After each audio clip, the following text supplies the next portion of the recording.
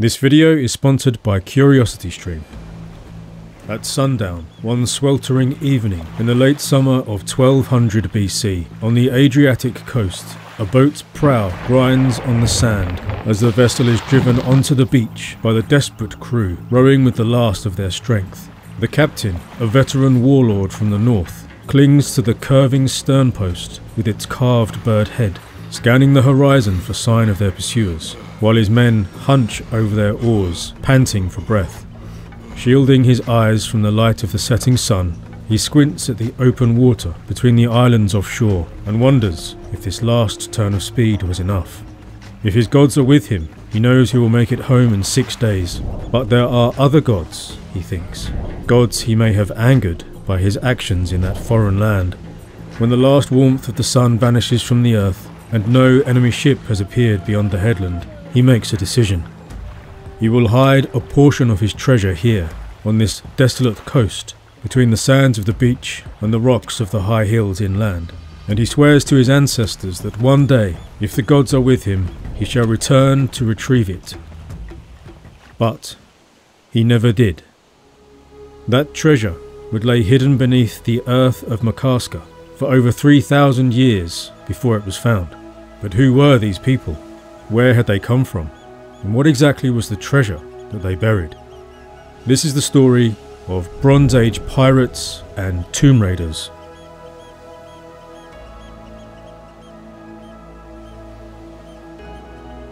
Bronze Age trade in the Aegean and central Mediterranean was dominated by the Minoans from Crete before the Mycenaeans took it over in about 1500 BC.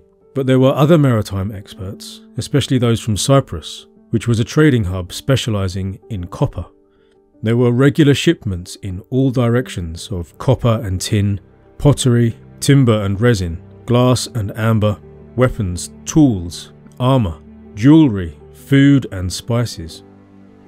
This trade, carried out over land but especially by river and sea, was vital to the Bronze Age way of life. Virtually everything made or used by humans travelled in some way by watercraft, which allowed cultures to interact over vast distances through exploration, trade, warfare, piracy, and migration. Militarily, ships could be used as mobile fighting platforms during battles, but more commonly they served for coastal raiding and as naval transports for men and supplies. It is impossible to understand the Mediterranean Bronze Age world without taking into consideration the influence of ships and seafaring. A famous insight into the maritime situation in the late Bronze Age is provided by the Uluburun shipwreck, sinking off the southern coast of Anatolia in around 1300 BC. It was probably built in Canaan, and it was sailing westwards with its cargo towards Mycenaean Greece. It carried 10 tons of Cypriot copper and a ton of tin, which would together have made 11 tons of bronze and it contained other raw materials and manufactured items. There's also the Cape Gelidonya shipwreck from about 1200 BC, which again carried a cargo of Cypriot copper oxide ingots and broken bronze implements meant for recycling, and items associated with bronze working. The ship itself may well have been from Cyprus, considering how much of the material it carried, like the pottery and even the ship's anchor, originated on the island. Who controlled all this trade? Certainly, great kings controlled much of it. They had the resources to build and crew vessels, and to exchange their surplus goods for what they wanted from foreign lands. Trade was a means by which to exert their political power within their own realm and in foreign relations. They also had the power to protect their vessels from enemies. Certain settlements and palaces were located in strategic positions that enabled their rulers to control the local waterways and they employed their warriors as guards on the ships to protect the cargo, crew, and the vessels themselves. There were not only great kings and grand palaces, however, smaller settlements and lesser rulers on countless islands of the Aegean and the rocky coasts of Anatolia carried out their own trade as best they could on smaller ships and in shorter voyages. But these trading ships and their valuable cargo were also preyed upon by pirates. To become a Bronze Age pirate, all you needed was a ship, a crew, and a base of operations. Where might the pirate ships come from? Well, they were all over the place, from small fishing vessels to the 10 metre long Cape Gelidonya trader up to the 16 metre Uluburun vessel, and no doubt there were ships even larger than that. These kinds of trading ships could be taken in port, taken while at anchor in one of the countless harbours, or they could have been built to order and paid for specifically for the purpose. But there were other kinds of ships too. The most successful was the Mycenaean style oared galley, sleeker and swifter than the trading ships. These were the vessels used to impose order, and they were ideal for raiding and warfare. These galleys were the ships used by the Sea Peoples, shown on the Egyptian reliefs at Medinet Habu. In order to understand how Bronze Age piracy would have worked, some researchers have looked at examples of pirates around the world in historical times, from the Caribbean, the South China Sea, North Africa, and in the Mediterranean during the Classical era. Historical pirates were often also traders. Sometimes a trading voyage might prove unsuccessful as a commercial venture, leaving a crew to be paid and months of labour unrewarded. And so the owner of the boat, the owner of the cargo, the master of the ship, or the crew collectively might decide to take by force what could not be traded for. We see this kind of behaviour in the Vikings of the Middle Ages, and amongst the English trader pirates of the early modern period, like Sir Francis Drake. No doubt some Bronze Age pirates switched back and forth between trade and piracy, while others committed fully to the raiding life. Remember, this was an era when the armed raid was not necessarily regarded as a criminal activity. In fact, it was fundamental to the way of life of the Indo European aristocratic warrior. From around 1300 BC onwards, warriors from Central Europe spread ever further through the Aegean and the Mediterranean. We know this from the appearance of their weapons and personal items from Northern Europe to Syria and Egypt. Many of these men served as the retinue of powerful foreign overlords, guarding ships and trade routes and ports. But with the breakdown of order in the Mycenaean world, and the collapse of the palaces and the kings who ruled them, these warriors were turned to a life of piracy. Some of these pirate groups of former mercenaries would be remembered as the Sea Peoples. This video is sponsored by CuriosityStream, a subscription based streaming service that offers thousands of documentaries and non fiction titles from some of the world's best filmmakers, including exclusive originals you can't find anywhere else. It's the world's first streaming service dedicated entirely to learning, with categories including history, science, nature, technology, society, and lifestyle. Just like other streaming services, you can watch CuriosityStream on all your devices. And best of all, you can get access to all of it for 25% off an annual subscription. That's just $14.99 for the whole year if you sign up using my link. There's so much to watch on this service that I've been spoiled for choice. Recently, I've been watching Bronze Age, a three part series charting the birth, peak, and collapse of Bronze Age society as well as loads of other great documentaries on the domestication of dogs, on colonising Mars, and much more. Follow the link in the video description below or head on over to curiositystream.com forward slash Dan Davis and use the promo code Dan Davis for 25% off your annual subscription. Now let's journey back to the Bronze Age Mediterranean. The Sea Peoples were multi ethnic groups of warriors and disenfranchised or displaced peoples from around the Mediterranean who engaged in piracy and attacks in the Aegean and the Near East. They included individuals who served as mercenaries in various late Bronze Age kingdoms, with some eventually migrating to and settling in Anatolia, Cyprus, and the Levant. As in historical eras, it is likely that as they moved around the region, they acquired additional followers from the places they were in contact with, and, when settling down, they intermixed with various indigenous groups, forming new cultures. This is what happened with the Peleset, who over time became the Philistines. The researchers looking at historical pirate groups found that they are often multi ethnic in origin, but quickly develop a distinct culture of their own. They tended to have a somewhat flat social hierarchy, based on the regular distribution of wealth, dividing up the spoils as shares. Feasting the communal consumption of food and alcohol was the most common pastime after the piracy itself, and they had to have secure home bases away from central authority. These tended to be islands or remote coastlines where they could pay off the local chiefs, or the local chiefs could have been pirate leaders themselves. And these patterns of historical pirate activity are also seen in the Bronze Age Mediterranean. The shared material culture is seen in the spread of the Naue II style slash and thrusting sword, Urnfield style cloak pins, and a kind of Mycenaean pottery associated with feasting. We can imagine Bronze Age pirates feasting like Homeric heroes, roasting cattle over fires on the beach, and boiling meat in vast pots to be fished out with flesh hooks because of course Homeric heroes were themselves committed pirates and coastal raiders.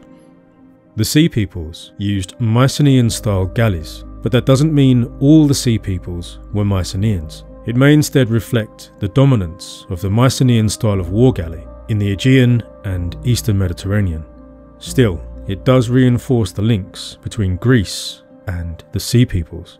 An example of a pirate base is Maa Palaeokastro on Cyprus, which occupied an isolated but easily defensible promontory with good views of potential targets out to sea, and a tower and a fortification wall that was built and occupied for a relatively short period between about 1200 and 1150 BC. The cultural core of this site was Mycenaean, but there were Aegean and Cypriot style buildings and local Cypriot, Canaanite, Aegean style, and Italic pottery here. As well as its somewhat multi ethnic nature, the geography, in the form of a defensible promontory with good views of potential targets, made it a prime site to launch attacks on shipping. Kremnos was another short lived settlement on Cyprus, occupied for just 10 years between about 1200 and 1190 BC. Again, it mixes Aegean and Cypriot traditions. The houses were built next to each other, so their backs formed a protective wall, a strategy employed on the Greek island of Kymalos. And thus Pila was another mixed community where a conscious defensive strategy was employed to protect the inhabitants against pirate activity during this catastrophic era. Its short existence suggests they were ultimately unsuccessful. There's another fascinating phenomenon taking place in this era of decline and collapse related to these seaborne pirates and raiders, and it shows up in the archaeological record as a kind of pirate treasure.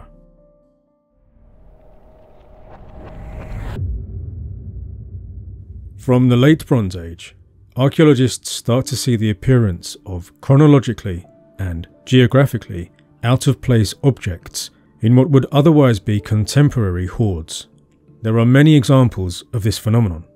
One is the clay Kernos from Tomb 122 at Perati in eastern Attica, a Cycladic vessel originally from the island of Milos and dating to the early Bronze Age, but found more than 130 kilometres across the sea from Milos, in a tomb whose contents otherwise belong to the early 12th century BC. And there is the Tiryns treasure, buried in a pit in the lower town at Tiryns from the 12th century BC. It contains an extraordinary chronological and geographical mixture of items, including a gold signet ring that dates back at least as far as the 15th century BC, gold earrings or pendants in the form of bull's heads, of a type well known in Cyprus, and amber and gold wheels, which find the best parallels for their amber bead type in Italy, the eastern Alpine region, the Adriatic, and as far east as the Ukraine in the 12th to 11th centuries BC, and for their gold wirework in Central Europe. This treasure also contains a Cypriot bronze tripod stand, an iron sickle or knife, also likely to originate in Cyprus, a Hittite cylinder seal, and two bronze swords of the European Urnfield Naue 2 type, as well as a bronze slab ingot, a bronze sickle, seven bronze vessels, the broken off supports of a couple of bronze fire dogs, fragments of gold and ivory, and more. So, what's the explanation for all of this? Well, chronologically out of place objects like these are often interpreted as heirlooms, which makes sense because objects were certainly passed down through the generations. A famous sword or helmet passed from father to son, for example. But in some instances, this explanation is implausible. look at the 800 years between the creation of the Cycladic Kernos from its final resting place at Perati. Perhaps it did remain in circulation all that time, but it seems unlikely. And it's possible that the gold signet ring from the Tiryns' treasure was an heirloom passed down for hundreds of years. But considering the geographically very mixed nature of the treasure as a whole, there might be another explanation. There are also many metal hoards found in the eastern Mediterranean, the Aegean, north of the Alps, and around the Adriatic as well as in Italy. These tend to date from the late Bronze Age collapse into the early Iron Age. Metal hoards are collections of metal objects that were buried for some reason only to be discovered in modern times. Why would people bury collections of valuable metal objects in this way? Well, speaking generally, some might be buried as offerings, deliberately sacrificed to honour a god or to mark a special occasion, and some might have been buried to hide them temporarily, perhaps for safekeeping, the owner intending but failing to return to dig it up again. These hoards from around the 13th century BC often contain objects several generations or even centuries older than the most recent objects they're buried with, and may also contain objects from distant lands.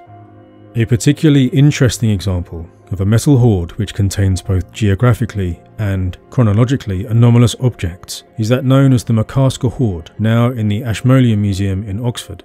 It was originally part of the collection of John Evans and was given to the museum by his son Arthur Evans, the archaeologist famous for his work on the Minoans. The hoard consists of two flat axes, two chisels, a spear butt, a large hammer, two shaft hole axes, and a miniature oxhide ingot. When the hoard was first properly examined by archaeologists in the 1970s, some expressed doubts about the find place of the hoard. One noted that none of the objects would appear out of place in a Cypriot context. Another agreed, hypothesizing that the hoard in fact derived from 19th century excavations of Cypriot tombs, and that the place on the Dalmatian coast had been mistaken for a site in Cyprus with a similar name. Actually, they were wrong, and the evidence shows it was obtained in what's now Croatia. So, how did all these Cypriot objects end up there? Well, of course, one way is trade. Cypriot objects, including ceramics and metalwork, have been identified in southern Italy, Sicily, and Sardinia from the 13th century BC onwards. And hoards like these are evidence of a circulating bronze scrap trade on a small scale and at high frequency throughout the Mediterranean. Traders would include bronze scrap and raw ingots along with other goods on their journeys. There were also likely travelling bronze workers who accompanied ships or regularly moved to where their services were needed. This is well evidenced by the Cape Gelidonya wreck we discussed earlier. But the Makarska hoard also contains shaft hole axes that are 500 years older in date, of a type from the Middle Bronze Age in Cyprus. And archaeologists can tell that tombs of the Middle Bronze Age in Cyprus were opened in around 1200 BC and so we can conclude that these Cypriot tombs were raided for the bronze artifacts within. Whether the people who buried the Makarska hoard were the same people who raided the tombs of Cyprus for the contents, we can't say. Perhaps the contents were obtained through trade with the tomb raiders, or perhaps the raiders were themselves the victims of piracy. Raiding tombs was an obvious way of obtaining wealth from a land you had conquered and controlled, even temporarily. But tomb raiding was about more than that. Tombs from all over the world show evidence of being plundered in ancient times. In fact, it's a wonder that anything at all survived in these tombs until today. Because it wasn't just about taking the material wealth within. When barrows and cemeteries were plundered, and renowned prestige goods and weapons were carried away, it was a means of inflicting yet another humiliation on your enemy. You were defeating not only your enemy, but your enemy's ancestor heroes, in effect killing them again, stripping them of their weapons and the material signs of their honour. You could defeat a people in the present, but to really destroy them, you had to wipe out their links to their ancestors. They would no longer be remembered, and thus it would be as though they'd never existed at all. This explains the recurring plundering of barrows and cemeteries in the Bronze Age, and the appearance of ancient grave goods from unrelated cultures being buried by pirates returning to their bases. The Makarska hoard was buried on the Adriatic coast in a place protected by a maze of islands close to the shore. Perhaps this was a pirate base. Perhaps the captain of this ship was heading back to northern Italy or even to Central Europe after a season of piracy and tomb raiding in the Aegean. Whatever the truth, this hoard and others provide a remarkable snapshot of the period. Foreign raiders living on the wealth of earlier ages, taking precious gold and silver objects and ancient bronze tools and weapons, and hacking them into pieces or melting them down for the raw materials. Ships of traders and raiders and pirates sailing the Mediterranean, transporting goods and people. The great demand for metal and wealth, as well as the desire for fame and glory, drove many to raid not only the foreign peoples of the eastern Mediterranean, but also the houses of their dead ancestors. This channel depends on your support. If you enjoy these videos, please join us on Patreon for as little as $3 a month and unlock the exclusive content there. Now, to find out about a specific conflict in this era, watch this video on the Tollens Valley battlefield, the earliest battle known archaeologically. Thank you for watching.